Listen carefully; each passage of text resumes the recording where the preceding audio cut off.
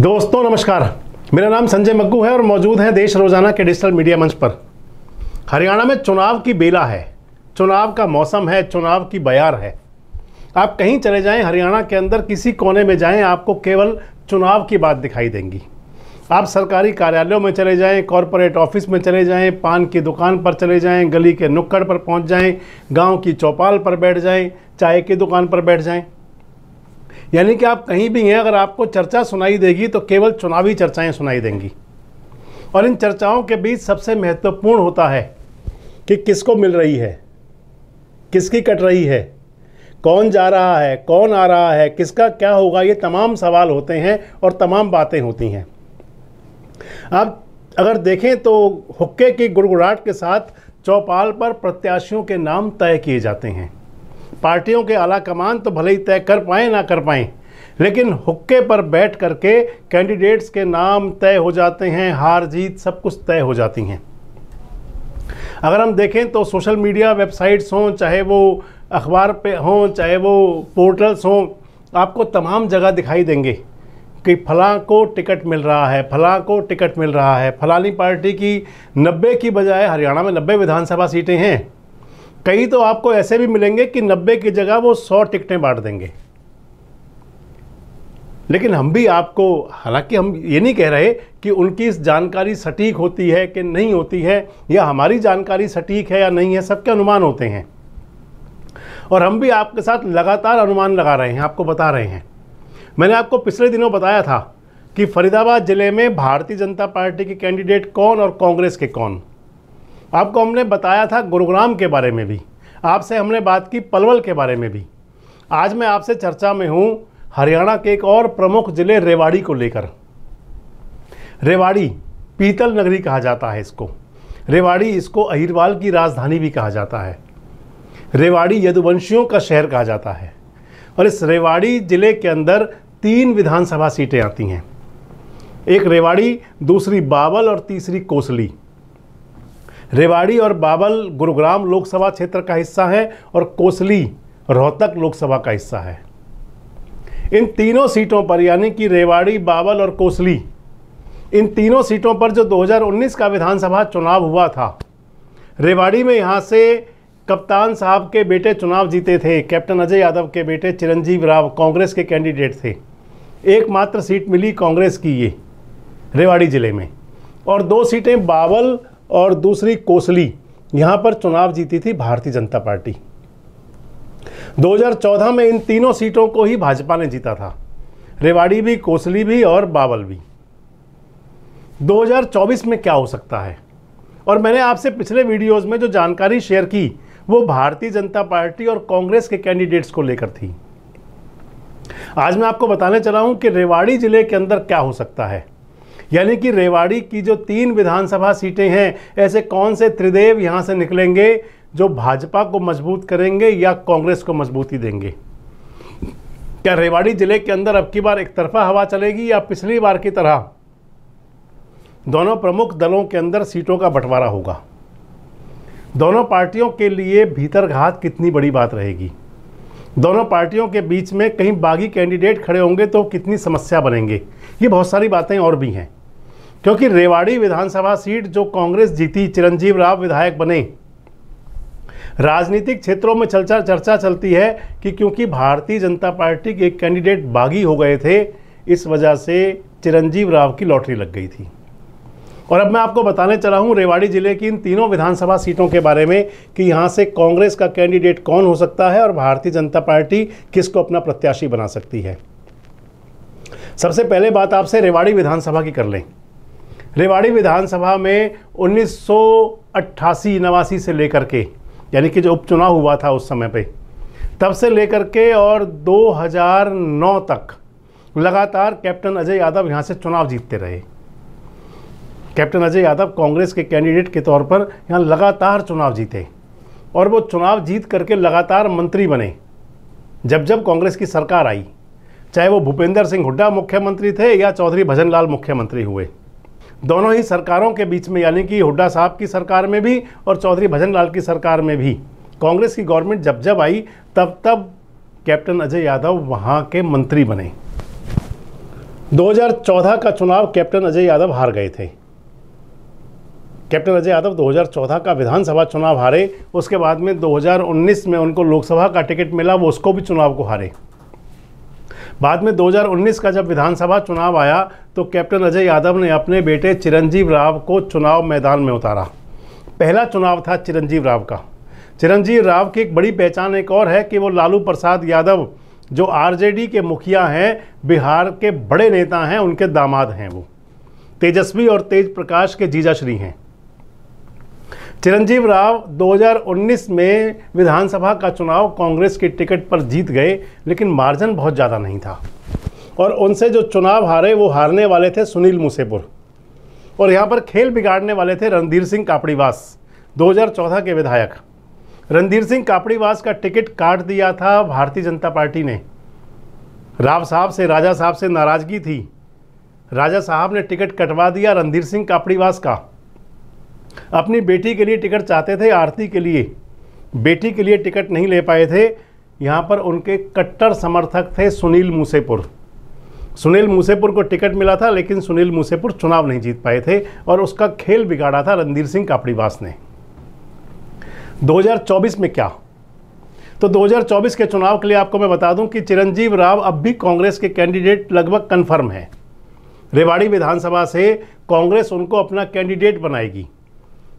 चिरंजीव राव और कैप्टन अजय यादव खुद कितने उसको लेकर के आश्वस्त हैं कि उन्होंने अपनी नामांकन भरने की तारीख भी तय कर दी है कि 9 सितंबर को नामांकन करेंगे। और दूसरी बात अगर कहूँ मैं आपसे कि कितने विश्वस्त हैं, उनको कितना अनुमान भरोसा है कि उनकी टिकट पर कोई दिक्कत नहीं हो सकती, नामांकन पत्र भरने की तारीख के साथ साथ ये भी कह दिया है कि कांग्रेस की सरकार बनेगी और डिप्यूटी सीएम बनेंगे। डिप्यूटी चीफ मिनिस्टर उप मुख्यमंत्री चिरंजीव राव बनेंगे तो कांग्रेस कैंडिडेट के तौर पर चिरंजीव राव का नाम तय है यहाँ पर। अगर आपसे भारतीय जनता पार्टी की बात करूँ रेवाड़ी के लिए तो सुनील मूसेपुर अब की बार अपनी पत्नी मंजू यादव को चुनाव मैदान में लाना चाहते हैं। उनकी धर्म पत्नी है मंजू यादव। राव साहब का सहारा तो उनको है ही। एक सहारा और मिल चुका है। सुनील मुसेपुर ने 2019 का चुनाव लड़ने के बाद में खुद को भारतीय जनता पार्टी में काफ़ी हद तक रचा बसा लिया। सुनील मुसेपुर राष्ट्रीय स्वयंसेवक संघ यानी कि आरएसएस से लेकर के और बीजेपी कैडर के जो नेता हैं, उनकी बहुत नज़दीकी संबंधों में शामिल हो गए।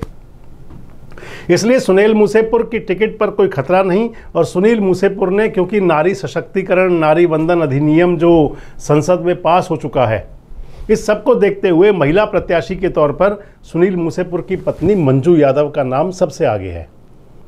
और आप मान करके चलें कि लगभग मंजू यादव का नाम अगर सब कुछ ठीक रहा तो उनका नाम तय है। और अगर मंजू ना हुई तो फिर सुनील मूसेपुर खुद होंगे। हालाँकि नाम या और बहुत है। रणधीर सिंह कापड़ीवास, जो 2019 का चुनाव निर्दलीय लड़े थे बगावत करके, जिनको पार्टी से बाहर निकाल दिया गया था, वो उनकी पार्टी में वापस एंट्री हो चुकी है। यहाँ पर एक और कैंडिडेट हैं, सतीश खोला, उनका नाम भी चला। यहाँ पर और कैंडिडेट हैं, अरविंद यादव, उनका नाम भी चलता है। लेकिन जो लगता है, वो ऐसा लगता है कि सुनील मुसेपुर या उनकी धर्मपत्नी मंजू, प्राथमिकता मंजू यादव की। मंजू यादव यहाँ से बीजेपी की कैंडिडेट और कांग्रेस के कैंडिडेट चिरंजीव राव। इनको अगर आप लॉक कर लें तो जब कांग्रेस के और बीजेपी कैंडिडेट्स की लिस्ट आएगी तो उस समय आपसे हम बात करेंगे।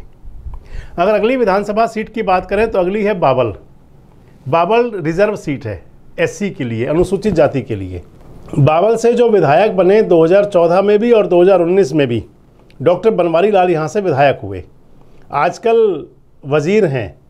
2014 की मनोहर पार्ट वन की सरकार में भी मंत्री थे और पार्ट टू मनोहर में भी मंत्री हुए और अब नायब सरकार में भी मंत्री हुए। पार्ट वन की सरकार में यानी कि 14 से 19 तक वो उनका जो दर्जा था वो राज्य मंत्री का था और अब वो कैबिनेट मंत्री हैं। डॉक्टर बनवारी लाल के नाम का जब ज़िक्र होता है तो वहाँ पर सीधे कहते हैं कि बनवारी लाल की टिकट को कोई खतरा नहीं है। ना तो उन्हें खतरा राव इंदरजीत सिंह से, क्योंकि राव इंदरजीत सिंह के समर्थक हैं वो, इसलिए राव साहब उनकी मदद करेंगे और ना उन्हें बीजेपी कैडर से कोई खतरा। इस लिहाज से माने तो यहाँ पर यानी कि बाबल की विधानसभा सीट पर डॉक्टर बनवारी लाल का नाम तय है। और अगर यहाँ कांग्रेस कैंडिडेट की बात करें तो कांग्रेस कैंडिडेट की स्थिति 2014-2019 चुनावों में बड़ी खराब रही। हालात अच्छे नहीं थे, लेकिन इसके बावजूद भी इस चुनाव में, यानी कि अब जो 2024 के चुनाव के लिए, क्योंकि लोकसभा चुनाव के बाद कांग्रेसियों के अंदर कहीं उत्साह का संचार हुआ है, पाँच सांसद जीतने के बाद। हालाँकि बावल में तो कांग्रेस के जो कैंडिडेट थे लोकसभा के राज बब्बर वो चुनाव हारे थे, लेकिन इसके बावजूद मैं कह रहा हूँ कि कांग्रेसियों में उत्साह है। और उस उत्साह की बदौलत आप माने कि बहुत बड़ी संख्या में यहाँ पर आवेदन हुए कांग्रेस कैंडिडेट के लिए। और इनमें से नाम कौन सा फाइनल हो सकता है? तो उन जिन के नाम फाइनल हो सकते हैं, उनमें सबसे पहले नाम आता है डॉक्टर मुन्नीलाल रंगा का, doctor M L Ranga. Chaudhary Om Prakash Chautala की सरकार में वज़ीर रहे हैं, मंत्री रहे हैं M L Ranga. Vice chancellor हुआ करते थे यूनिवर्सिटी के। उसके बाद अगर नाम लें तो यहाँ पर नीलम भगवाड़िया का नाम भी है, शकुंतला भगवाड़िया के परिवार से हैं वो। पिछले दिनों उन्होंने डोर टू डोर काफ़ी आयोजन, काफ़ी कार्यक्रम किए। एक नाम यहाँ पर अखबारों की सुर्खियों में और लोगों की चर्चाओं में मुकेश जूली का भी है। मुकेश जूली जो हैं वो उनके परिवार के जो सदस्य हैं, वो राजस्थान से आते हैं। राजस्थान विधानसभा में शायद वो कांग्रेस विधायक दल के नेता हैं। एक नाम यहाँ पर डॉक्टर पवन कुमार का भी है। नाम बहुत सारे हैं यहाँ पर। लेकिन जो प्रमुख नाम है जिस पर लगभग उम्मीद है मोहर लग जाएगी। पहले नंबर नंबर पर Munnilal Ranga, doctor M L Ranga और दूसरे नंबर पर नीलम भगवाड़िया। और यहाँ पर अगर माने तो लगभग लगभग कन्फर्म नाम एम एल रंगा का है कांग्रेस की तरफ़ से। तो बावल के लिए भाजपा से डॉक्टर बनवारी लाल और कांग्रेस से एम एल रंगा। अगर आपसे अगली बात करूँ तो फिर बात आएगी कोसली विधानसभा की। कोसली विधानसभा सीट से फ़िलहाल लक्ष्मण यादव यहाँ से विधायक हैं। राव इंद्रजीत के बहुत नज़दीकियों में शामिल हैं वो भी। कोसली में 2014 में चुनाव जीते थे विक्रम ठेकेदार। वो भी नज़दीक थे। राव इंद्रजीत सिंह के वज़ीर बने थे 2014 पार्ट वन मनोहर सरकार में। बाद में उनकी तनातनी हुई, राव इंद्रजीत सिंह से उनकी रुखसती हुई, नाराज़गी हुई, रसवाई हुई तो उनका टिकट कट गया। टिकट मिला लक्ष्मण यादव को, लक्ष्मण यादव चुनाव जीत गए। अगर अब मैं आपसे बात करूँ, कोसली का अगला बीजेपी कैंडिडेट कौन? हालाँकि ट्राई में लक्ष्मण यादव भी हैं, ट्राई में यहाँ पर विक्रम ठेकेदार भी हैं, लेकिन जिस नाम पर मंथन हो रहा है, जिस नाम पर फाइनल किया जा सकता है, वो है राव इंद्रजीत सिंह की शूटर बेटी आरती राव। आरती राव को कोसली से विधानसभा का चुनाव लड़ाया जा सकता है। कोसली के अंदर अभिमन्यु भी आए थे, अभिमन्यु यादव। पूर्व मुख्यमंत्री मनोहर लाल के नज़दीकियों में शामिल, उनके जो कार्य देखते थे, राजनीतिक उनके पीए कह सकते हैं, ओएसडी कह सकते हैं, उनका नाम भी चला, लेकिन नाम फाइनल जो है लगता है वो आरती राव का है। राव इंद्रजीत सिंह की बेटी। और कांग्रेस से जो नाम फाइनल हो सकता है, यादवेंद्र सिंह पिछली बार कैंडिडेट थे यहाँ पर 2019 में, चुनाव हार गए थे, परिणाम अच्छा नहीं था। और अब जो यहाँ पर नाम चल रहा है वो है जगदीश यादव। कोसली पहले जाटूसाना सीट हुआ करती थी और जाटूसाना के विधायक थे जगदीश यादव। जगदीश यादव ने लोकसभा चुनाव से पहले कांग्रेस ज्वाइन की थी। और कोसली में उनका दावा मज़बूत यूँ है कि कोसली विधानसभा सीट जो रोहतक लोकसभा में आती है, जिसमें 2019 के चुनाव में पिछहत्तर हज़ार के लगभग वोटों से दीपेंद्र हुड्डा चुनाव हारे थे। लेकिन जगदीश यादव भी शामिल हुए। दीपेंद्र हुड्डा की मेहनत कहें, आप जो भी उसे कहें। 2024 का लोकसभा चुनाव यहाँ पर दो वोट से जीत गए थे दीपेंद्र हुड्डा, यानी कि पिछहत्तर हज़ार वोटों की हार को कवर किया गया। इस लिहाज से यहाँ पर जो नंबर एक का नाम है, वो जगदीश यादव का है। तो कोसली विधानसभा के लिए अगर बीजेपी कैंडिडेट की बात करेंगे तो आरती राव और कांग्रेस कैंडिडेट की बात करेंगे तो जगदीश यादव, पूर्व मंत्री हरियाणा सरकार। एक बार आपसे फिर दोहराता चलूँ। रेवाड़ी विधानसभा के लिए, रेवाड़ी ज़िले की रेवाड़ी विधानसभा, कांग्रेस कैंडिडेट चिरंजीव राव, भाजपा के कैंडिडेट मंजू यादव, सुनील मूसेपुर की धर्मपत्नी। बावल विधानसभा सीट से doctor Banwari Lal, BJP candidate और doctor M L Ranga, Munnilal Ranga, Congress candidate.